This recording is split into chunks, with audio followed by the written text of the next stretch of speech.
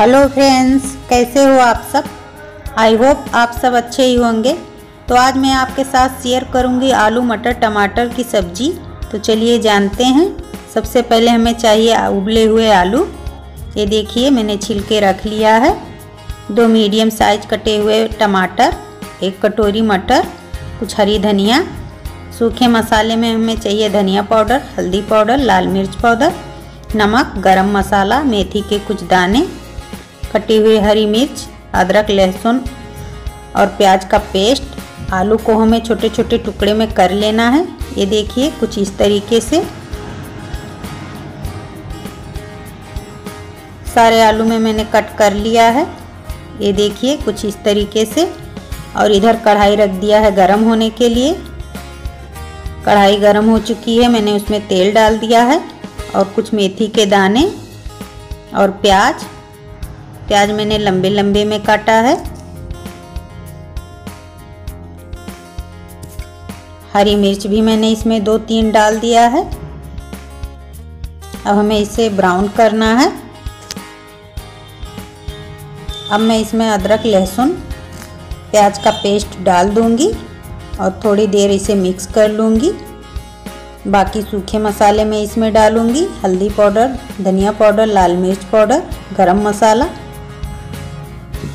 सारे मसाले को हमें मिक्स कर लेना है और एक मिनट ऐसे ही भूनना है।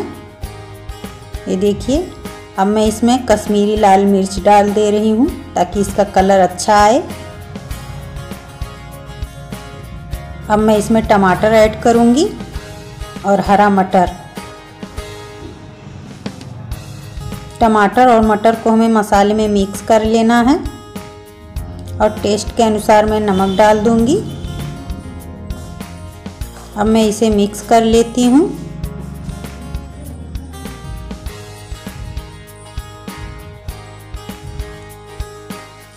अब मैं इसे दो मिनट के लिए ढक दूँगी और थोड़ी देर ऐसे ही रहने दूँगी। फिर मैं इसे चेक कर लेती हूँ। बीच बीच में मैं इसे चलाती रहूँगी। हमें तब तक इसे चलाना है जब तक कि मटर अच्छी तरह से पक ना जाए।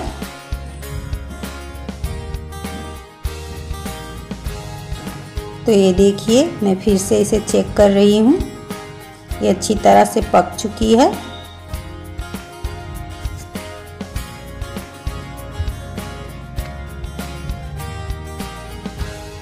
अब मैं इसमें आलू ऐड कर दूँगी। आलू को हमें अच्छी तरह से मिक्स कर लेना है। मिक्स करके मैं इसे ढक दूँगी। तो उम्मीद करती हूँ आप सबको वीडियो बहुत अच्छा लग रहा है।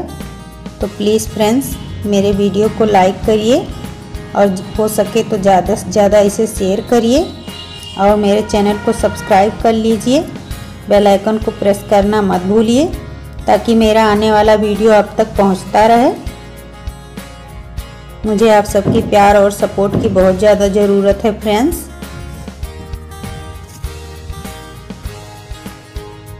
ये देखिए पक चुकी है।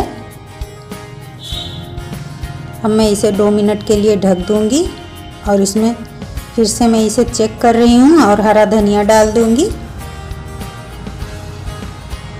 तो उम्मीद करती हूँ आप सबको वीडियो बहुत पसंद आया होगा।